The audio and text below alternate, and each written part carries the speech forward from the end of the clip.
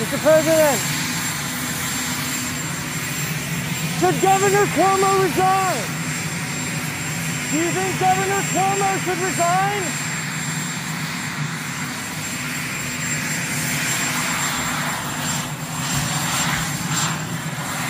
Mr. President, do you think Governor Andrew Cuomo should resign? I think the investigation is underway and we should see what it brings us. Do you think How was the Quad summit, Mr. President? How was the Quad? How was the Quad summit, Mr. President? It did, ve- went very well. Everyone seemed to like it a great deal. Thank you. on the border.